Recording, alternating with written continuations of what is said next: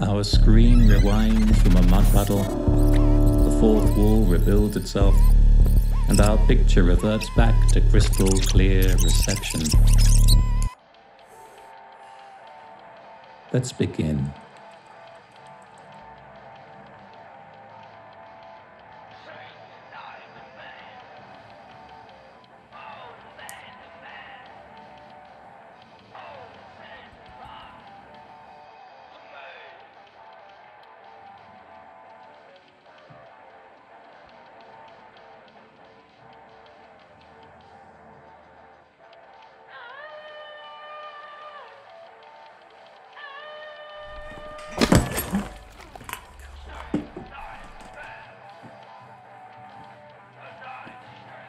Why is the butterfly the only insect that gets an effect named after it? Brad utters, hunting a moth. It hovers, bothers his bedroom light, taps the bulb devoted, batters itself silly on the ceiling. I'm sure whoever thought it up didn't mean to leave any other bugs out. Follows Joe, ever eager to oppose. Ben, the third friend, marvels at the window muted. Spies outside at outsiders passing by, too monged to even move his tongue. The gormless group just finished up a couple zoots in the midst of a quick trip to the local corner shop to restock. Need more papers to roll, no pipes presently available. Well, uh, I think. Eyes glazed over, basically comatose. Brad needs a little longer to compose. There could be a moth effect of a similar premise. Is this another one of your far out, bizarre Nobel Prize winning ideas? This is taking the piss. Let's go. Joe, all I know is these tricky little cunts munch on my clothes. Have been for weeks. And I'm gonna catch this fucking prick before we leave. If it wasn't for this little shit, loads of stuff would be different. We'd have papers to roll by now with our heads well in the clouds for at least an extra half an hour. But what's the big difference between the butterfly and your moth effect then?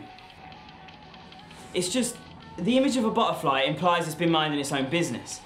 Plants itself on a pretty flower, gets stepped on by something too gigantic to notice, can't help it one bit. Well, with this moth. This tiny flying thing's undying instinct makes it feel like it's imposing its changes upon me. Whoa. That's deep, man.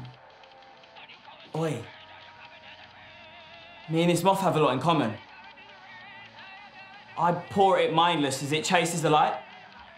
That makes us somewhat alike. Brad's right. Because if that moth had a human hand, it would have grabbed Brad by the scruff of the neck to have kept him stuck inside that night. You see, this specific moth's design is beyond all rival, as insides more minuscule than the finest hair follicles and only requires a nano amount of power. Yet, what surges up the nerves of that wily invertebrate could invigorate the most titanic Tyrannosaurus rex alike. But alas, dinosaurs aren't alive and lack the right size or devices to fly that close to a Croydon flat, making the moth the perfect life form for the job on this one.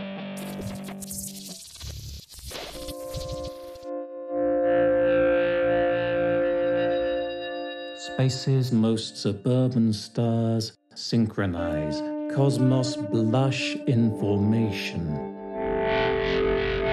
Gods fiddle with their Milky Way grey beards, nestled up in nebulas aeons away, send emergency Chinese whispers gallivanting across galaxies all the way to Earth, which decide Brad doesn't die today. In this universe, no, sir. Basically, the boys didn't notice the noise, but there was a car crash down the road in the direction of the shop they were about to pop into, and Brad would have got caught in the crossfire of Audi versus lamppost. If five minutes, 54 seconds earlier, they had left the house uninterrupted, like he wanted. the moth decides to settle for a second, sears itself on the scorched glass, just to see what the gleam it feeds off feels like. That's when the paper collides. The clueless kid kills his unlucky guardian angel. The god's message must have got messed up in the whisper because no deity decided on homicide this time. Well, I suppose that's over. Can we go now? Joe proposes, about ready to blow. I don't know what triggered it, but lately I've been bewitched by a lot of pretty existential questions. Brad's magnetic index finger, eager to fix itself upon the wondrous mechanics of his planet. He's always been ambitious. While Ben's first sentence in 20 minutes is Probably because you've been smoking more weed lately, innit? Yeah, probably paranoia. But recently I ain't known what to think. Bruv, you want the truth? You're on telly, and we're the actors in it. Oh, fuck off. Oi, I'll admit it. You're a television star, we're the cast, and the best part is you'll never be able to prove that we aren't. Like that Jim Carrey film. What's it called again? You know the one I'm on about. Joe chuckles, Brad utters, What a mug. he's not that gullible.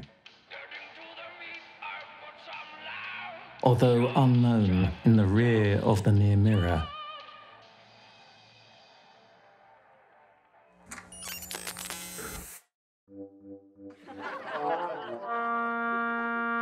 As Joe maintains his hair, wipes his nose, wishes he owned more designer clothes carelessly. Analysts stand there, taking notes, and make jokes about how he reckons the extra money spent would make him look sexier. Meanwhile, worldwide, another million or so watch The Joe Show, surveying wide eyed, gaping, nocturnal, crooked necked like owls from their leather perched lounge, as thousands of actors gather to give the impression that Joe's world is actual. The fact of it all is behind his bedroom wall is a film crew, and his globe's revolved around by a crane moon, which constantly shoots as producers constantly loot. Download season three of Joe for the low, low price of $19.99, featuring Joe learning how to ride a horse and the hilarious best of the bedwetting. Viewers scrutinize from a future millennium because they find it funny how we functioned. The most basic Jersey cow grazes, gazes out into a matrix field. The greenest grass smells, tastes, and even feels like the real deal. Our average Joe, an amalgamation of everything he's paid attention to as follows first cartoons, then boobs, and finally the news.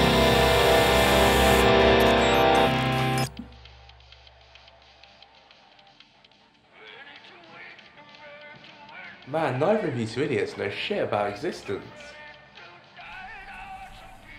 Oh yeah? Go on then, Ben. Please free us from our ignorance. Hmm. Well, I know you exist solely in the instance you're thinking. in. I mean, I think, therefore I am, and all that.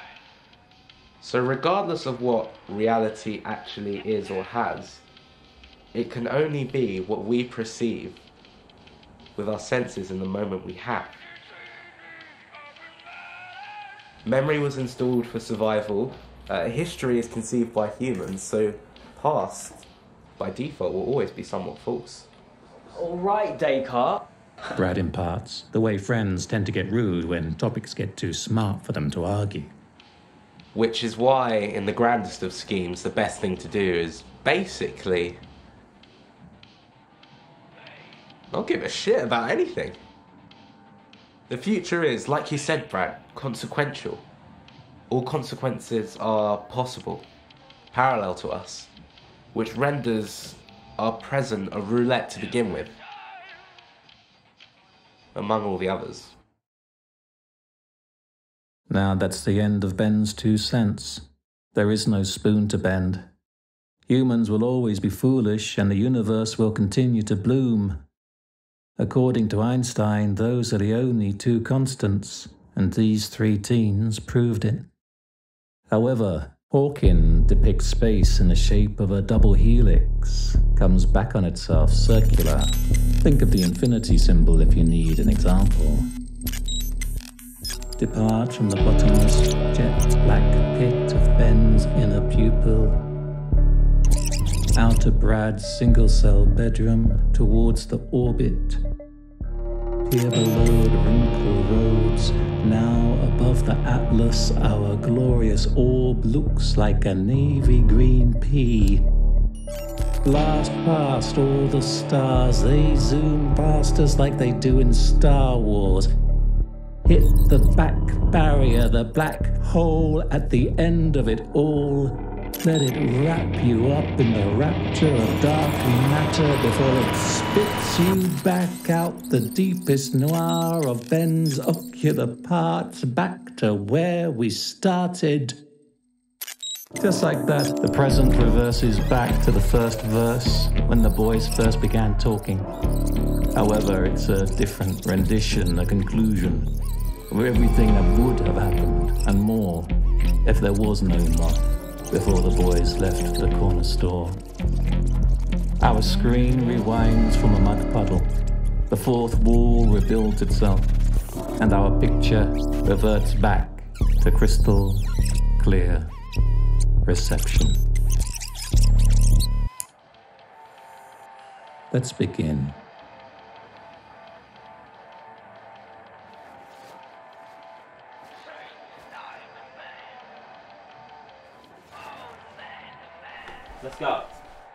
Right.